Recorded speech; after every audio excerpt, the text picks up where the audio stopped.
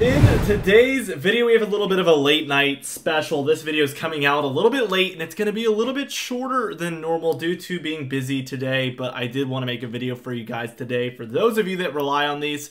So we're going to be going over the quick hitting notes. We do have Tropical Storm Tammy here in the Atlantic, so we're going to be talking about that. We also have a cone forecast for Tammy, of course. We're going to dive into the upcoming storminess and then the total snowfall, actually. So that's the four things we're going to go over today. Uh, that total snowfall is looking absolutely insane out west, so we're going to be talking about that. As always, be sure to check out Prestige Weather in the description and pinned comment down below. We did just release our third winter forecast in there, so you can now access that for $5 a month.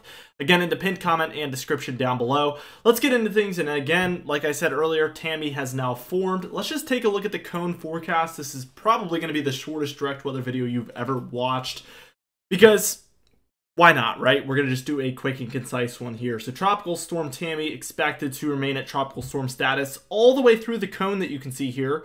Uh, it's going to be hitting some of those islands in the far eastern Caribbean by the time we're taking a look at Saturday into uh, a bit of Sunday. But by the time we reach Sunday afternoon, it will have moved to the north of those islands and be curving almost back towards the east. So as of now, we expect this one to curve back out to sea, potentially going even further eastward than Bermuda. That is the current expectation.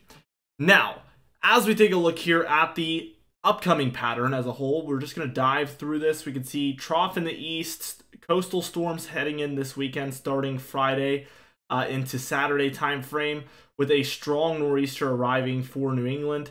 Uh, and actually, as you can see, bringing some back end snowfall to some of these mountainous areas like the White Mountains, the uh, Green Mountains, and even the Adirondack Mountains there in New England and New York, of course as we just dive further into things, we can see that we get snowfall diving into the west with a strong 995 millibar low pressure center here over Wyoming. And this is bringing snowfall to a bunch of surrounding states Oregon, Washington, Idaho, Montana, Wyoming, Utah, Nevada, all receiving some pretty heavy snowfall as a result of this system.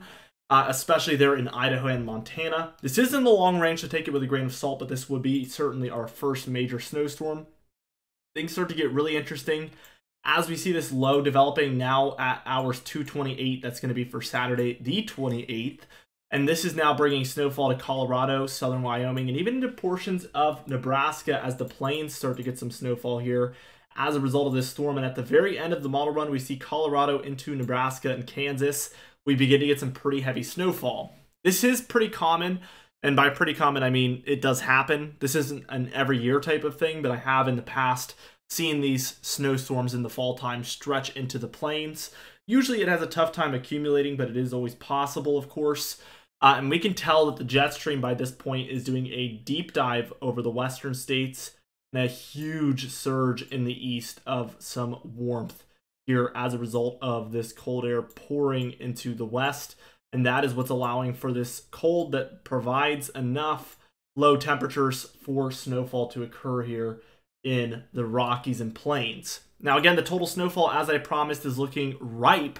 As you can see, in the, in the grays, we're expecting a dusting, if anything. Blues, 2 to 6 inches of snowfall. Purple, 6 to 10. Pinks, 10 to 20 there.